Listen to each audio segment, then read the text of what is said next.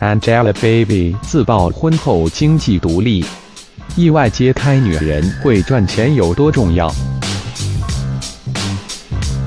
还记得去年九月，富比士公布的两千零十七中国百名名人收入榜上，黄晓明 baby 夫妇评级三点一亿，约计十四点三亿元的年收入，成为了中国最能赚钱的明星夫妇。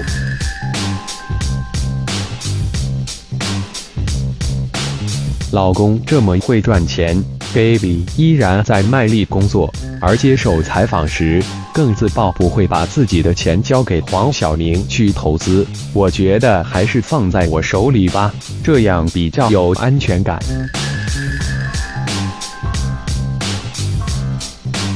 这一次，baby 破天荒的没有遭到群嘲，反而收获了一批点赞。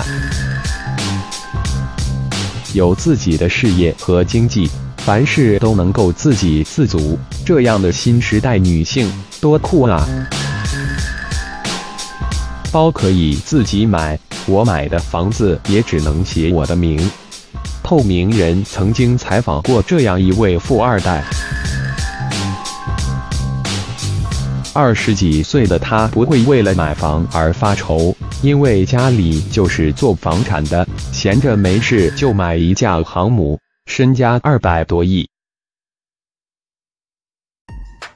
这样的男生身边自然不乏莺莺燕燕，可是他从不送女生礼物，因为自己没病。当主持人问他怎么看待那些为了钱和他在一起的女孩子时，他说：“理解他。”可是哪个女生想要这样的理解？还记得马苏的奋斗史吗？年轻时的他拼命拍戏，拼命赚钱，都是为了买自己的房子，不再被别人骂滚出去。而杨幂在节目中曾被金星这样问道：“如果你想给你爸妈买一套房子？”你会跟刘恺威商量吗？可他却说不会，因为我买得起。女生会赚钱，能够做到经济独立有多重要啊？因为人这一生能够用钱捍卫尊严的时刻实在太多了。尽管世界还有许多不公，但越来越多的女性努力突破各种限制，追求自己想要的生活，不在乎其他人的言论。她们不想谈恋爱，只想一夜暴富。她们再也不必通过各种暗示，让男友给自己买一支一千块的口红。而是毫不眨眼的为男友买下一只价值不菲的手表。他们宁愿在职场上披荆斩棘，逼自己去战斗、去变强，也不愿每晚可怜兮兮的在家等一扇不会开启的门。他们不需要通过结婚来改变自己的命运，因为他们自己就可以成为豪门。干得好不如嫁得好，简直就是天下最大的笑话。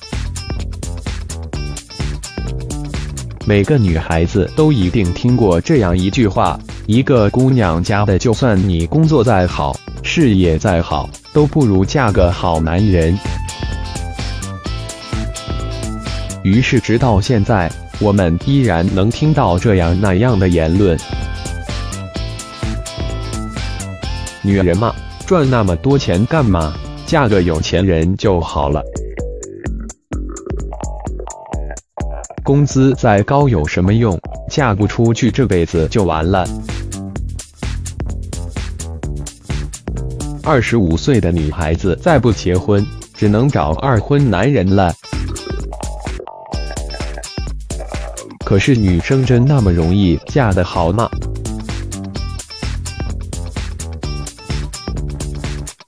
如果你真的做了社会调查，说不定会得出相反的结论：嫁得好太难了，还他妈的不如老娘自己拼容易点。事实证明，许多男性的思维还停留在“我给你钱，你在家带孩是天经地义”。在他们眼中，给妻子提供吃穿等物质保障，所以怀孕、带小孩、做家务都算是享福。电视剧《离婚律师》里有这么一段话。我努力的工作，为的就是有一天当站在我爱的人身边，不管他富甲一方还是一无所有，我都可以张开手坦然拥抱他。他富有，我不用觉得自己高攀；他贫穷，我们也不至于落魄。嫁个有钱人，不如自己成为有钱人。女人只有在人格和经济都独立的情况下，才能获得真正的安全感。当你有钱了，便再也不会觉得男生向你吹嘘月入过十万有多了不起。当你有钱了，你知道更好的人是什么样的，所以你不会被谁的高傲死死的吃住。努力才有资格结婚，不努力只能卖自己。世界这么大，你凭什么想看就看？还记得一位女教师的辞职信曾火遍全网，简简单单的十个字：“世界那么大，我想去看看”，却成为了无数人心底的呐喊。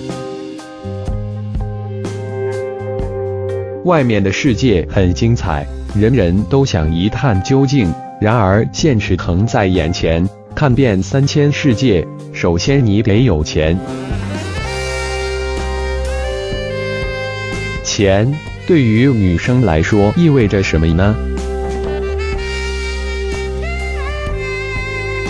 是看中的衣服可以不考虑价格，心情不爽的时候可以随便任性。也不用看别人的眼色生活，是在这个快节奏的一线城市，看到钱包鼓的时候，内心有足够的安全感，然后去实现自己的诗与远方。如果读万卷书与行万里路都太理想化，那么赚钱也是一个提升自我的过程。你可以接触更多的人，学习更多的知识，应对更多的场合。等这些东西一拥而上，占据了你的生活，你会在充实中最终发现，喜欢就买，不爱就走，全力以赴的自己真酷。一个女孩不一定得做到事业上的女强人。但一定得经济独立，这样即使受了伤，也有自舔伤口的能力。想来想去，还是努力赚钱更靠谱，不然心情不好时，只能买两瓶啤酒、一袋鸡爪子，在路边嗷嗷的哭。努力赚钱的话。就能躺在优美的山中温泉里敷面膜，止不住眼泪。努力赚钱，我还可以去纽约哭，去伦敦哭，去巴黎哭，去罗马哭，边潇洒边哭，想怎么哭就怎么哭。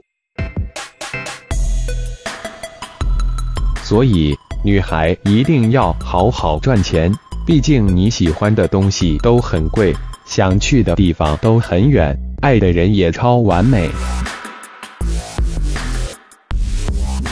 即使在婚后也要一直保持经济独立，因为有钱你才有底气，有赚钱的能力你才有未来。